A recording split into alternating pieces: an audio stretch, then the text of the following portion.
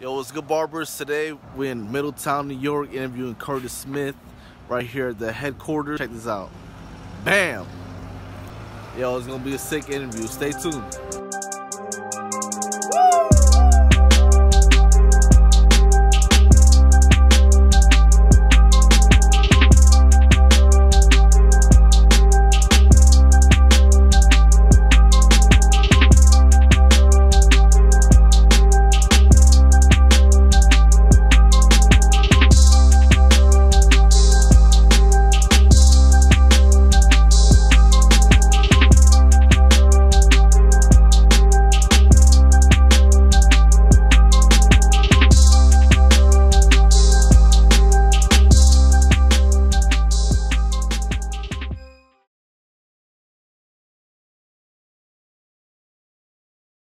My first business I had was 19, um, 1994. Okay. I opened my first um, barbershop. Me and a you know really good friend of mine, Kid Capri, DJ Kid Capri. Yeah. Um, you know we opened up the shop together, and um, you know it was history from there. Was he DJ Kid Capri back in the day too, or no? Oh yeah, he was Yeah, always he was DJ. always-. Yeah, yeah. he was. Oh, forget about it. Like he's, he's been DJ Kid Capri since we were kids. Wow. You know, he's been doing this thing since the '70s, man. You know, with Afro.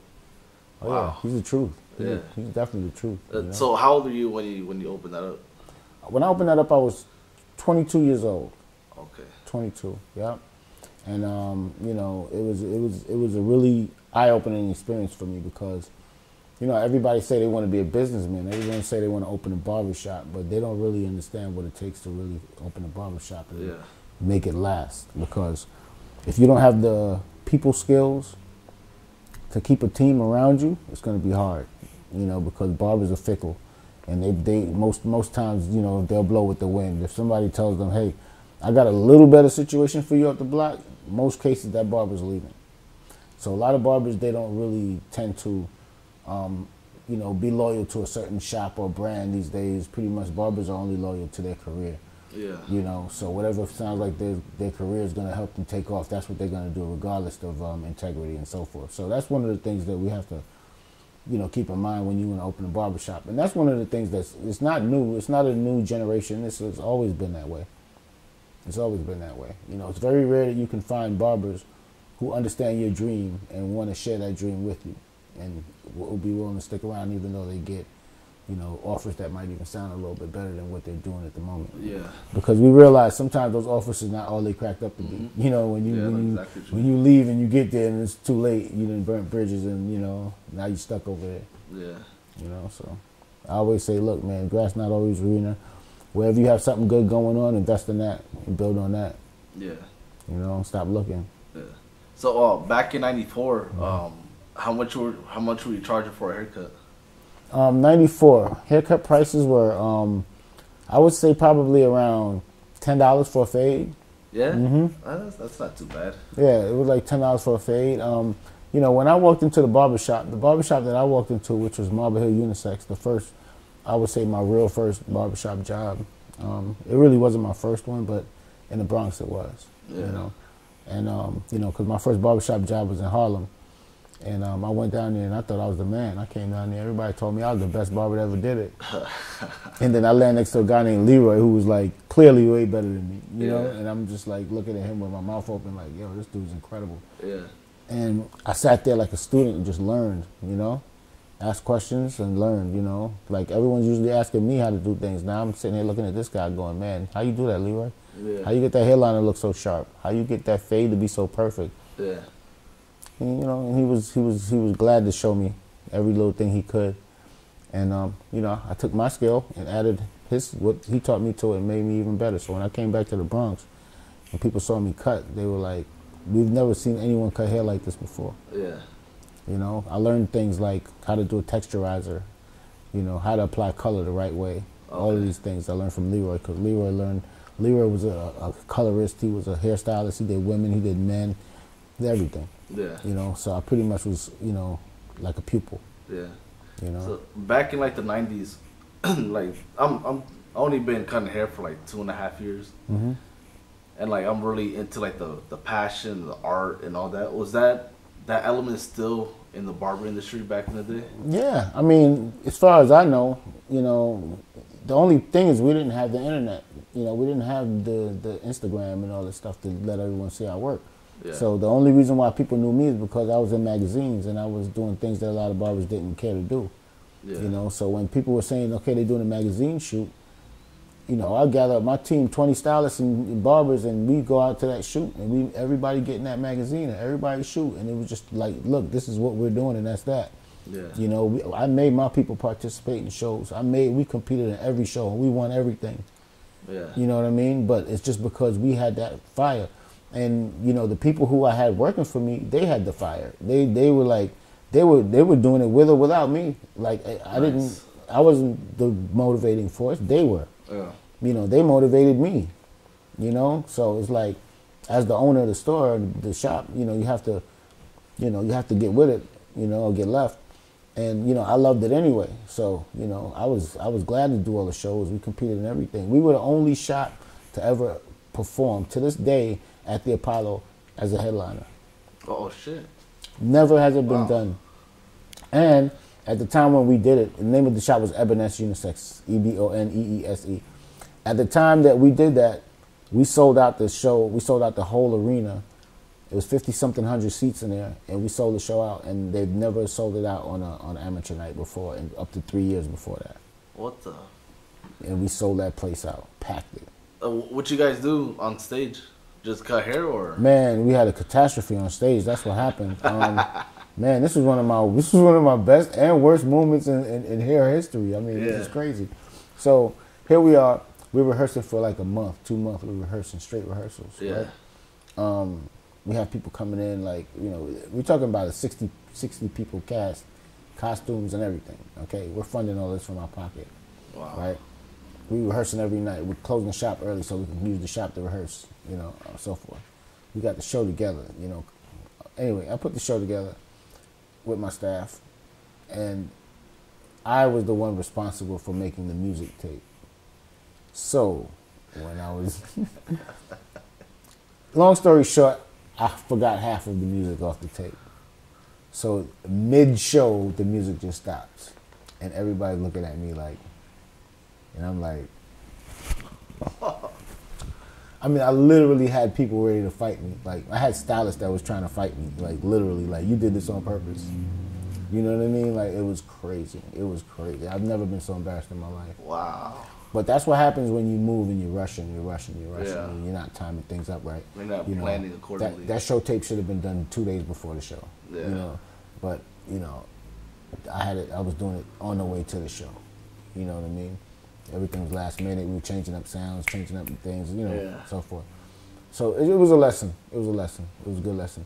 But it still goes down in history. You know, we still did it. You know. Did you guys get booed off? Oh, we definitely got booed off. oh, oh, oh, we definitely got booed off. Just imagine you got 20 people on stage waiting for the music to come back on so they could do their next move, and they're like, "What the?" You know what I mean? Yeah. And then they had to slowly just kind of realize nothing was going to happen. They just walked off the stage embarrassed as the crowd booed us off.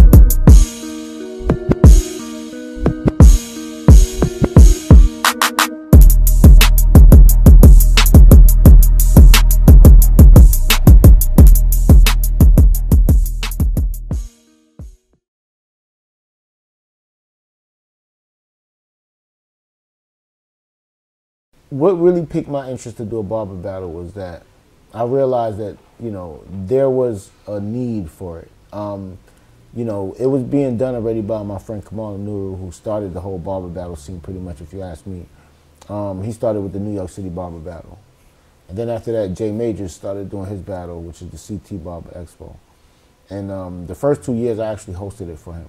You know, he needed like some help. You know, he didn't really have the, you know, people didn't really know who he was and so forth at the time. This was all about what, like ten years ago, kind of. About eight years ago. Eight yeah, years ago? Yeah, you know. Oh, okay. So people people didn't know who he was at the time, and you know he had just joined my team, Team Xotics.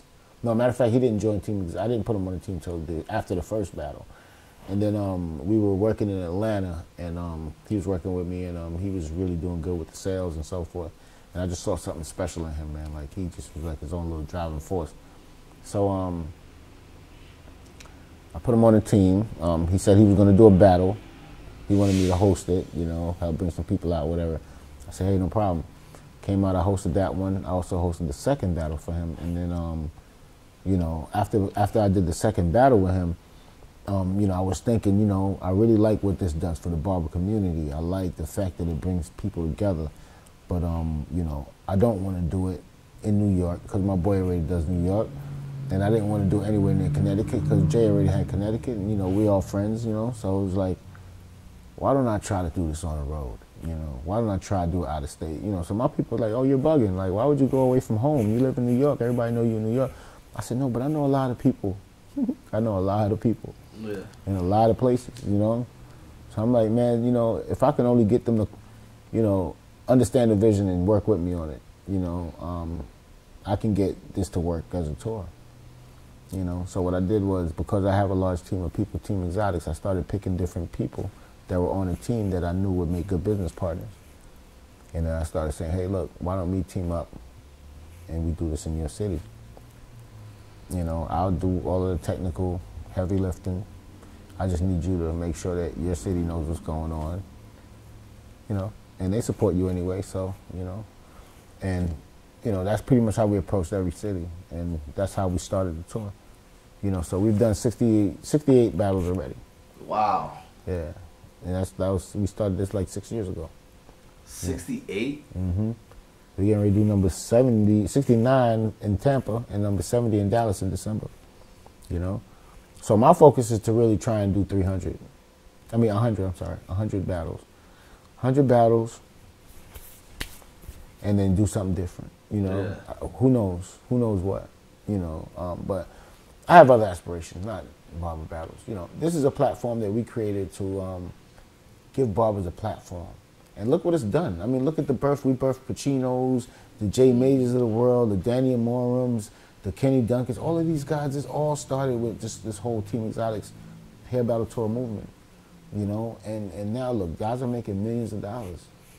Uh, I saw Kenny Duncan on that LeBron James show on uh, Yeah, look at yeah, yeah, yeah. hair. I'm like, oh, that's crazy. Yeah, you know, I mean, all of us, JC the barber, you know, all like, you know, like everyone's kind of like got their own vision and their own plan and they're working it, you know, and that's what it's about, and that's what Team Xotics was always about. It was never about, you know, these guys taking 50 pictures of the product and posting it up and all that stuff. Like, it was never about that, you know. And if they do it, great, and if they don't, great. You know what I'm saying? Whatever, you know, like we're gonna do what we do regardless.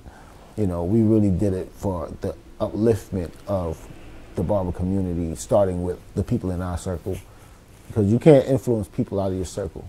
You know, you gotta let them see what you're doing, and then they'll be influenced.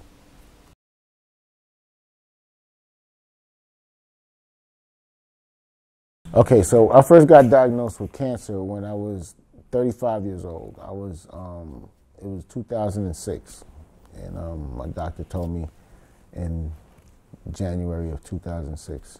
Um, but I kind of knew it like months leading up to it. I just did never got the official diagnosis, but I knew I was, something was happening. You know what I'm saying? And um, it was terrible. I mean, the, the symptoms were bad. Like if I were to tell you the shit that was going on, you wouldn't believe it. So you know, it was nasty too. I don't want to share that stuff.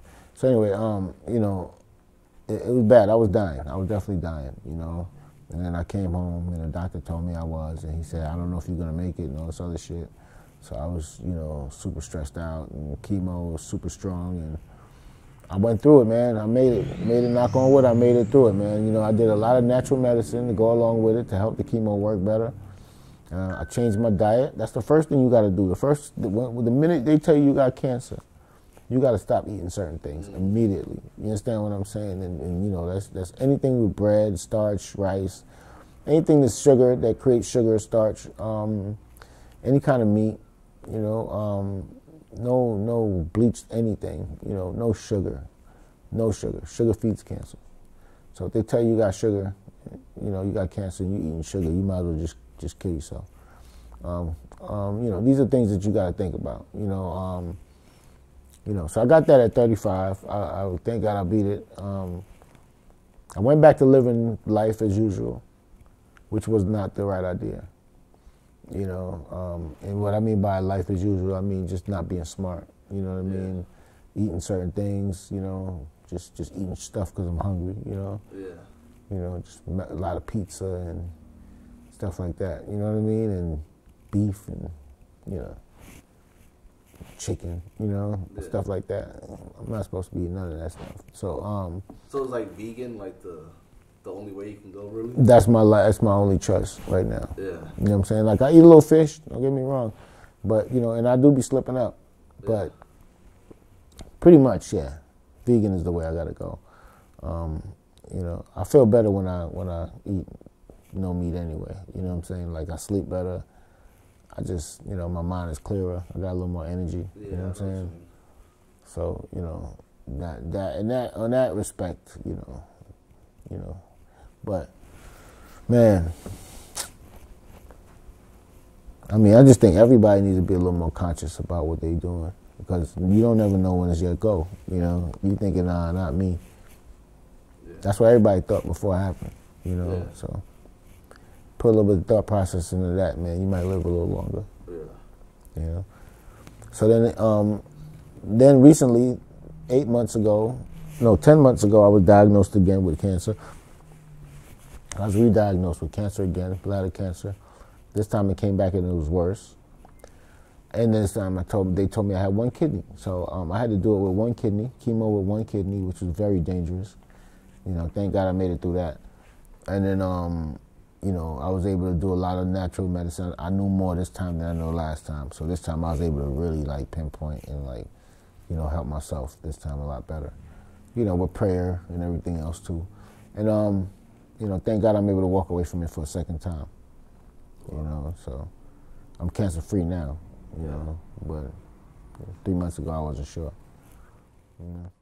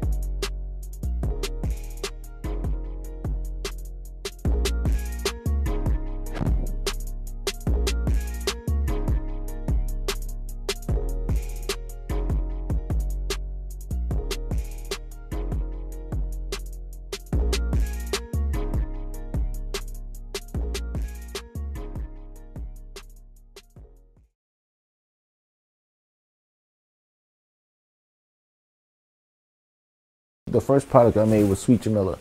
This was a hair glaze. Um, the reason why we made this product, it wasn't for waves or it wasn't for anything like that.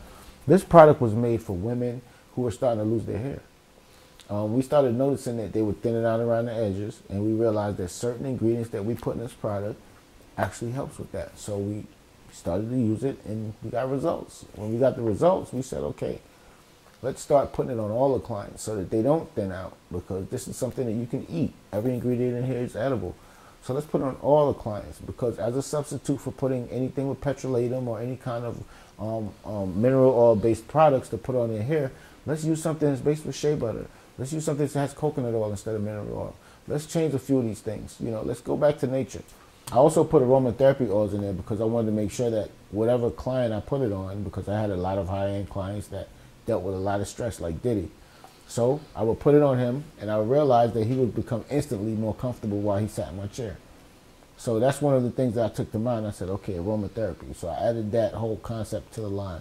Whereas every product that you smell, not only is it going to work, but the smell alone is going to captivate you and it's going to make you feel better. So you know that, that these were the first two products that we started with, and then you know from there we started we started to create other products like this blue water. We didn't have an aftershave, so we created an aftershave that didn't have any alcohol, that doesn't burn because that's the thing we wanted to get away from that burn. Something that actually wakes you up, invigorates you, but also moisturizes your skin at the same time and stops the razor bumps. So we came up with blue water. That took off.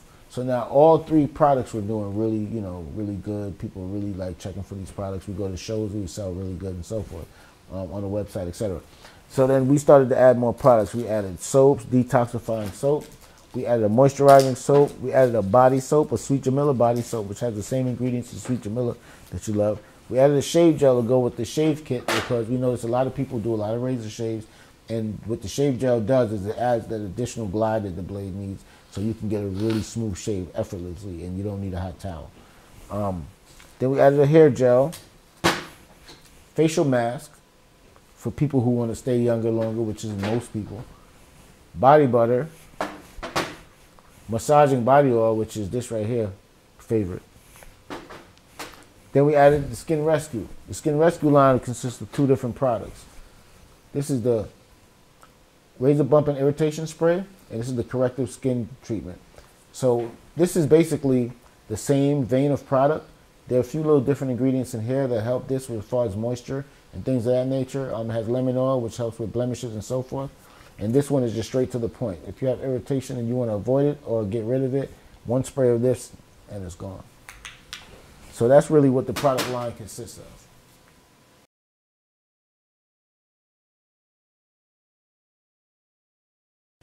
Frame was created because we want to bridge the gap between customers and barbers. So, for example, if someone lands in Chicago and they're looking for a good barber, they don't know who to call. They can pull up the Frame app. It'll show them a list of barbers that are Frame approved barbers. These are barbers that we approve, that we say these barbers know their stuff. Frame approved barbers that's on this app. Now you can look, you can see their work, you can see videos of their work, you can see everything you need to see. Not only can you do that, but you can also book the appointment right there with that barber.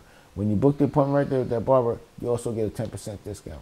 So what this does is this helps barbers to get new clients without having to try and go out and get them. And this also helps clients to find barbers. Cut wait time. You don't have to worry about wait time because it's done on an appointment basis. It also has educational training so barbers can learn from other barbers that's on the app how to do different types of hairstyles, different types of services, and so forth. So there's a training part to it. There's a social media end of it where barbers are able to socialize and basically share ideas and, and post up and see each other's posts and so forth. So you don't have to go to Instagram and all that stuff. You can do it right within the barber community where it's really just concentrated professionals and it's not, you know, nine year old kids in India looking at it. You know? if you want to sign up for Frame, the first thousand barbershops are going to get Frame free for the first three months. So if you want to sign up for Frame, you can go to www.myframeusa.com and you can sign up today. If you'd like to purchase Xotics products, you can go to www.xoticsproducts, that's X-O-T-I-C-S products.com, or you can go to hairbattletour.com or hairexpotour.com to sign up for the competition. Hope to see you at one of them. What's up? It's Curtis Smith. Thank you, Ill Barbers, for this interview. Keep it in glorious. Peace.